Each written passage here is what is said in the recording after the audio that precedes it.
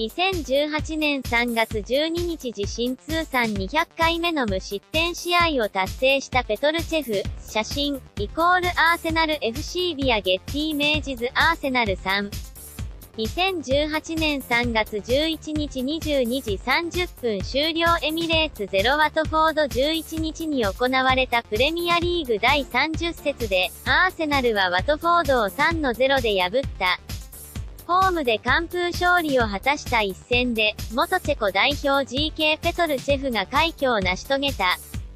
チェフはフル出場し、自身通算200回目の無失点試合を達成。プレミアリーグ記録を更新し、史上初の快挙を成し遂げた。アーセナルの公式ツイッターが伝えている。チェフは今シーズン、リーグ開幕からすべての試合で先発メンバーに名を連ねている。昨年12月16日の第18節ニューカッスル戦で1の0と完封勝利を収めて無失点試合数を199としていたが、以後の11試合連続で失点を喫し、足踏み状態が続いていた。12試合ぶりに無失点試合を達成し、節目の記録に到達したチェフ。ワトフォード戦では PK を阻止するなど、渾身のプレーで勝利に貢献した。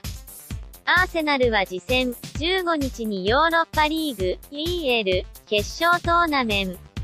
ト2回戦、ラウンド16、セカンドレグのミラン、イタリア、戦に臨む。